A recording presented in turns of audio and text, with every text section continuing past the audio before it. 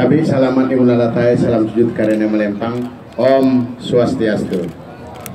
Saya Ketua Parisada Hindu Dharma Provinsi Kalimantan Tengah pada kesempatan yang berbahagia ini mengucapkan terima kasih sebesar-besarnya kepada Bapak Kapolda yang telah memfasilitasi kemudian yang bersama-sama dengan kami di sini untuk menyelenggarakan kegiatan yang luar biasa ini.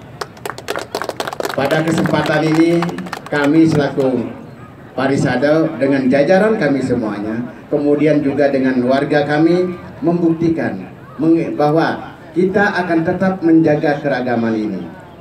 Kemudian seperti dikatakan kami adalah Indonesia, kami adalah Pancasila.